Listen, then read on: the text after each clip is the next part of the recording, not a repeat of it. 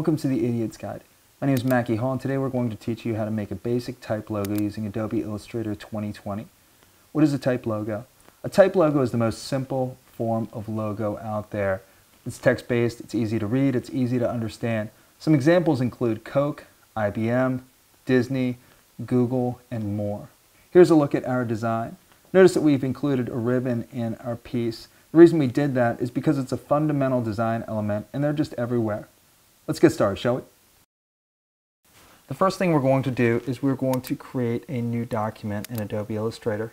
When we do so, we're going to make our page width 1000 points and our height 1000 points as well. In our page layout, we are going to select Essentials. If you don't know where that is, it's on the top right of the top bar. Once we're set with that, we're going to select our rectangle tool and we're going to click anywhere on our page.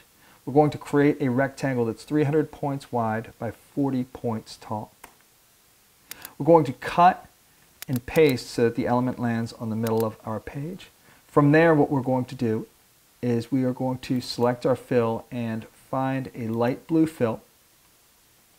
That works pretty good, about just like that. Then we're going to find and select a dark blue stroke.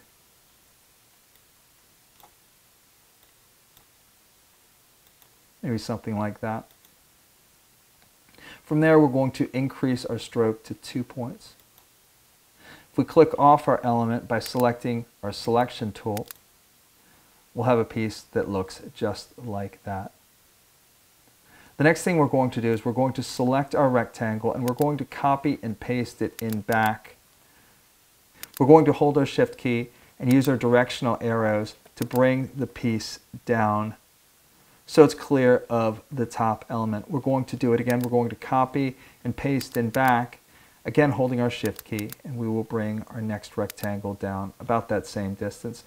The reason we're using our shift key along with our directional arrows is because by doing so we move elements down 10 points at a time. Uh, if we don't hold our shift key down, we move our elements around one point at a time. The next thing we're going to do is we're going to select our direct select tool. And we're going to drag across the right side of our rectangles. This selects the anchor points in the area that I dragged over. The next thing we're going to do is we're going to hold our shift key down again and we're going to arrow over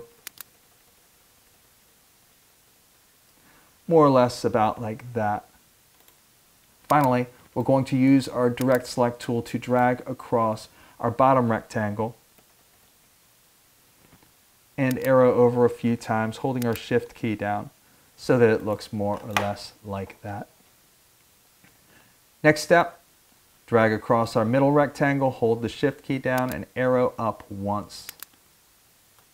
You'll notice what we've done so far with our rectangles is we've started creating the right side elements of our ribbon. To finish it out, we're going to do something a little bit different. We're going to grab either our select or direct select tools. We're going to click on our bottom rectangle, and then we're going to select our pen tool.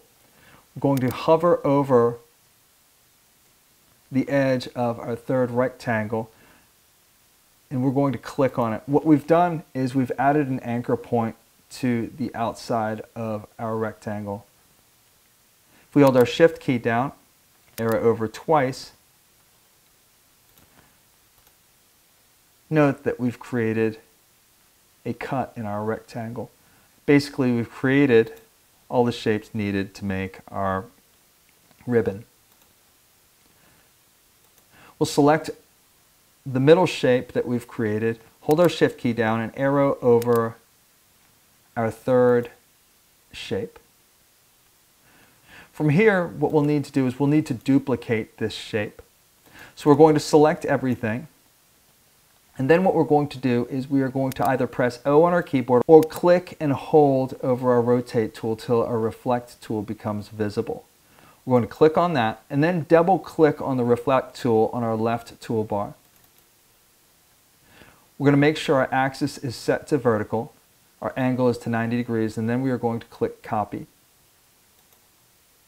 From there, we're going to hold our shift key down, arrow to the right until we are underneath the right side of our top rectangle. Next step, we're going to grab our select tool, drag across both of our shapes underneath our rectangle, hold our shift key down again, and arrow up until until we are underneath our first rectangle. If we click off of it, you'll note we've created our ribbon. We've got a bent ribbon in this shape right here, but we're not really worried about that right now. What we're going to concern ourselves with is the type itself. So we're going to start with using the basics. We'll click our type tool and anywhere on our page, we'll click and write using the basics. From here, we'll select all of our type. Then we'll select Bebas from our type list. If you don't have Bebas, you can go to fontsquirrel.com and there it's available as a free download. Next thing we're going to do is size our typeface up until it fits the area that we are going to fill. From there, we're going to select our direct select tool once again, and we're going to drag inside our ribbon. Then we're going to use our directional keys to position it just right. I think that's pretty close right there. Next thing we're going to do is we're going to change our type fill to white. And we have completed our ribbon. Looking at this, we are going to step over to type logo. We're going to select our type tool once again. We're going to click above our ribbon and we are going to write type logo. Again, we'll select all of our type and we'll increase the size until it fits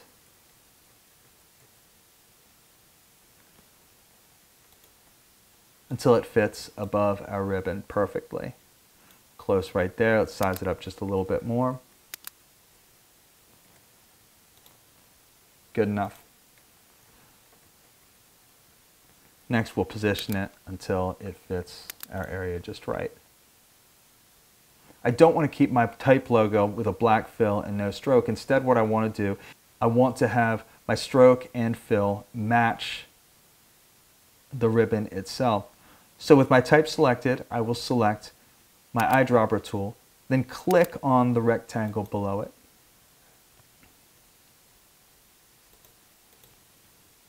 Looks good. From here, I'm going to select my type logo and swap my stroke and my fill.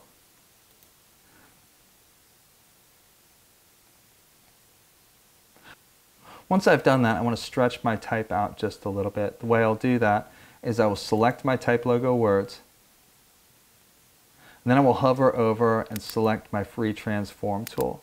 From here, I'm going to hover over the top of the box that I've created around my typeface, and I'm just going to drag up just a little bit.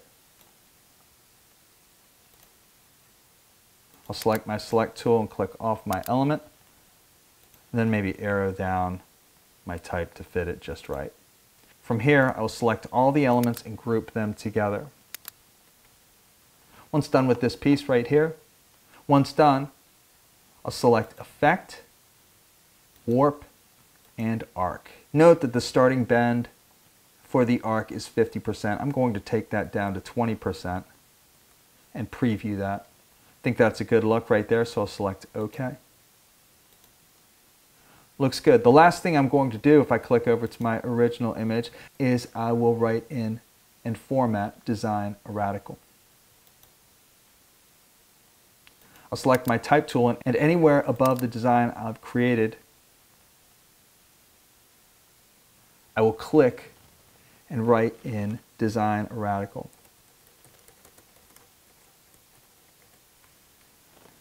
Once done, I'll select all my type center it, then select Futura Standard from our type list. From our character window, I'm going to select the menu and I will select all caps. Next step, I will size it down to fit snugly above type logo. That's about right size right there. Then I'm going to arrow it down a safe distance. To get this right, I'm going to zoom in just a little. The way I do that is I will hold my control key and press the plus sign. And that will allow me to zoom in.